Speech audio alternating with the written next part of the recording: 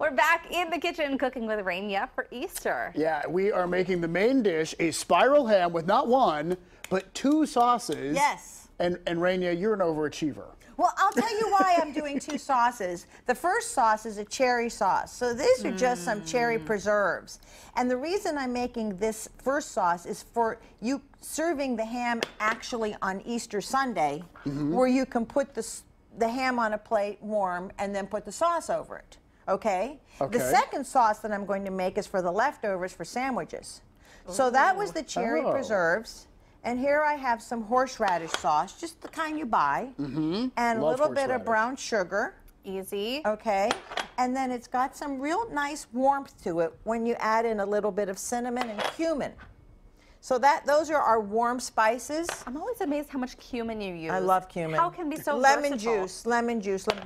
Uh, Well, I, I, I don't know. I just know the cumin and just seems to blend well. One of my favorite things to do, and yes, I do it at Easter. I roast those green top carrots in the Oh, oven, yeah, so pretty. and I put olive oil, salt, pepper, and cumin really? on my carrots. I need It's that a go-to spice for It Rania. really It is, a is. go-to spice. So all you need to do here is warm this up. It'll take a second while that's happening. Okay, so some people will put like a brown sugar glaze, pineapples. You said you Yeah, use pineapples, Pineapples at Aunt and Pat's house. Yes. Right. Well, Um, you can you use this after? Yeah. You you know you buy the ham, right? As we said earlier. Well, you hope you don't steal it. You know? Ha ha ha. cute, Heather. Real cute. It's a holiday, Heather.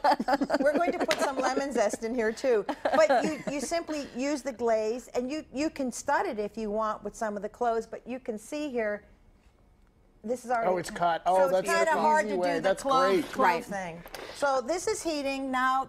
Sauce number two For our mm-hmm. sandwiches. For our sandwiches, and I did bring slider buns. Oh, I figured you mm. might want to try that. I do. Mayonnaise. and this is just like a honey mustard you can put in here, Oh, nice. right? Okay, so mayo and honey mustard. and some little green onions that you slice. This is a nothing sauce as well. So So now you have your two sauces going.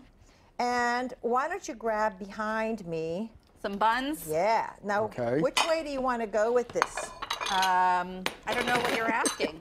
Well, do you want a sandwich or do you want? Do you just want it with the sauce? Do, does I'd like a little sandwich. do you want? The Yeah, me sandwich? too. I do. Okay. Yeah. There's Although no I love cherries, so I do Someone kind needs of to wanna- try my sauce, Okay, right? I'm Well, gonna I'll- do both. Yeah, can I try the so there was the lemon zest. okay So a little brightness to the whole thing? yes. Now it's warm. Should I use this spoon? Yes. Okay, so and we're then just- here's another one right here. Now, is it bad to put the cherry sauce, the, that sauce on on the sa- a sandwich? Is it bad to do? No. No. Okay, No. then that's what I'm gonna do. You could do both. yeah. okay. Nothing's bad. Nothing's bad. I love Okay, your cool. your So the, why lack don't of I rules. just go right over here and s- can someone hand me their plate? Yes, I'll go first. All right. So for your little sandwich, maybe that's an ambitious piece. So That's I'll put okay. another one there. For the David, cherries. how about you, honey? Okay. Oh yeah, please, please, please. This I'm looks sorry so to reach good. right in front of you, Heather. That's okay. Let me give you a Okay. Oh, smaller wow, one. okay. For, now for your sandwich. Okay. Trying I to get love this on this. so now it's you not have A little both. pre-Easter activity here. Okay. So the long and the short of it is, you can go ahead and get this ham for a fraction of the cost simply Mm. by buying it, glazing it, popping it in the oven, and you have dinner. That's good. D- How's This- the, how's the cherry? This is delicious. Uh huh. Oh, I told very good. This is just a nice little twist on ham for Easter. Mm -hmm. And it's so simple. It's so I could simple. even do this. I think you can. All right. Well, watch always next looking for week. easy I for you know. to do. I am. Look, uh, the skill level, you got to match it. Watch next week when Rania cooks for Greek Easter. Yes. And for a copy of today's recipes, go to pittsburghtodaylive.com. I've still not learned to swallow my food before I start talking. I think I have a little bit of sauce in the corner right now.